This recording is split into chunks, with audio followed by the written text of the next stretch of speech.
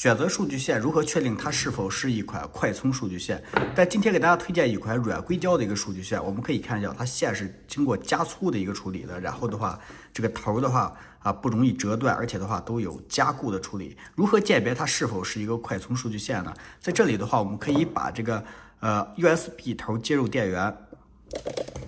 我们拿到手机以后呢，可以把它的 Type C 头呢直接插入到手机里边，可以看一下手机的反应。